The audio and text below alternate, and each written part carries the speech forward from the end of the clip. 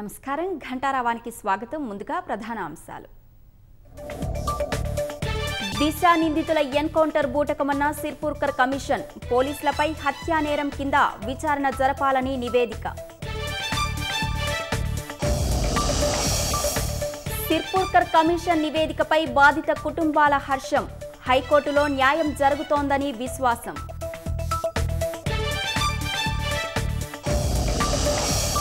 తెలంగాణలో వచ్చే ఎన్నికల బరిలో జనసేన మూడో వంతు స్థానాల్లో పోటీ చేస్తామన్న పవన్ కళ్యాణ్.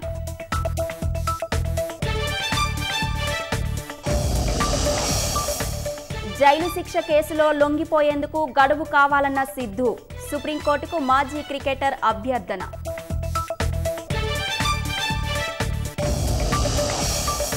శ్రీలంకలో మరింత దిగజారిన పరిస్థితులు ఆహార సంక్షోభంతో అలమటిస్తున్న జనం.